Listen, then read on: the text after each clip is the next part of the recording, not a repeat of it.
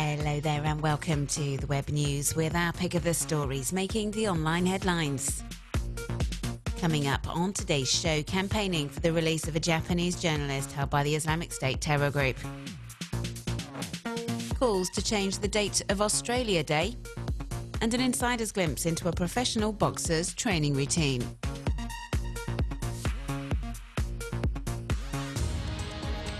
Taku Nishimae started the I Am Kenji Facebook campaign to work for the release of 47 year old journalist Kenji Goto, currently being held by the Islamic State terror group. He's urging Japanese web users to join the campaign and reach out to both the Islamic extremist group and to the Japanese government to ensure the hostage is freed at the earliest possible opportunity. And as we can see from the hundreds of photos shared by social networkers on the Facebook page set up for the Japanese hostage, the campaign is already proving extremely popular. The pictures show men, women, and even children holding signs bearing the I am Kenji slogan in solidarity with their fellow citizen. They want to show the world they won't give up and will continue campaigning until Kenji Goto is released.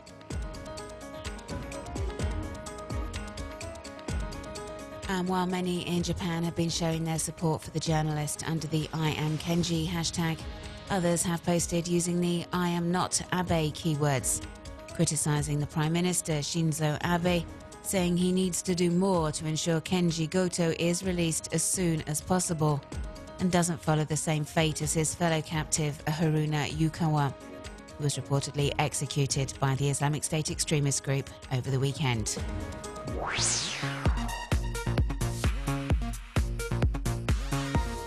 Australians celebrate their National Day, Australia Day, on January 26th. It marks the anniversary of the 1788 arrival of the first fleet of British ships.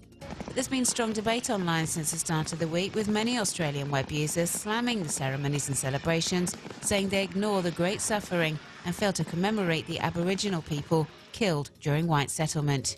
A lot of netizens have taken to Twitter over the past few days, talking of Australia's original inhabitants who fought for their lands or were massacred or displaced when the first Europeans came to settle. Some microbloggers are even suggesting the day is renamed Invasion Day to highlight that for some, this is not a day for celebration, but a painful memory. Something that's prompted a large number of Australians to post under the Change the Date hashtag, calling for Australia Day to be celebrated on a different day so that everyone can celebrate and feel part of Australia's national identity. A similar debate is waged in the United States in the run up to and during Columbus Day. Celebrated every year mid October, it commemorates the anniversary of Christopher Columbus's arrival in the Americas, which many in the US find offensive as no mention is made of the genocide against American Indians. Critics have suggested Indigenous Peoples Day be recognised as an alternative.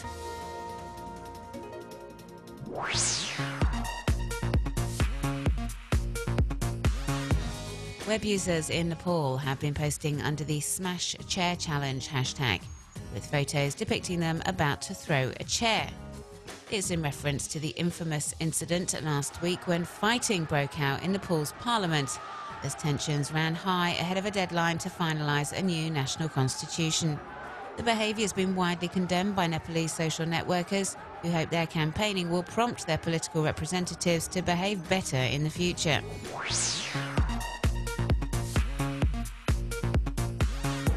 This infographic put together by the Bank of America visualizes the economic impact of 2014's severe weather events. We learn, for example, that the record breaking drought in California cost the US some $4 billion. While in Bosnia, Brazil, and Indonesia, heavy rainfall and severe flooding lost local economies hundreds of millions of dollars.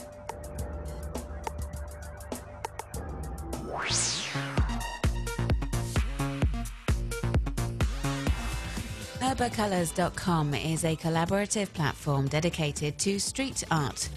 It features an interactive map displaying urban artworks from all over the world. Web users can add to the already rich database by sharing their own shots. It's a way of capturing and cataloguing these often temporary works of art.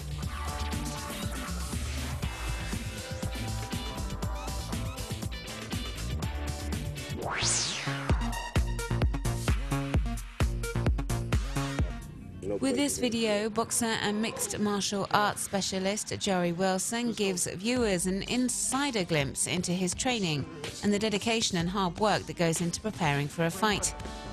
We even get to imagine what it would be like to be the American athlete's sparring partner. You can take a closer look on the GoPro YouTube channel. There.